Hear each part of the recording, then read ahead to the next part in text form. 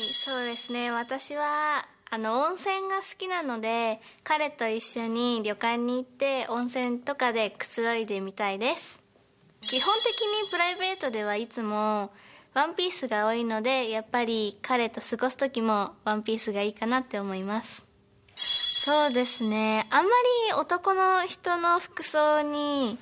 なんか詳しくないんですけどまあ爽やかでゴテゴテしてない感じの服装がいいですね。なんか T シャツになんかジーパンとかそういう感じがいいです。ビキニで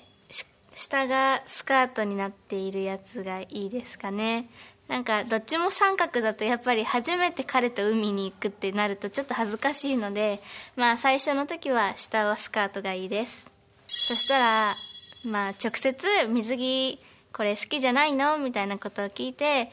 もし彼が正直にちょっとなんかあんまり好きじゃないなって言ったらまあそのもし海外とかに行ったら海外しか売ってない水着とかを彼と一緒に買いに行ったりしてでそれでまたビーチに戻ってきて遊んだりしたらまあ盛り上がるんじゃないかなって思います。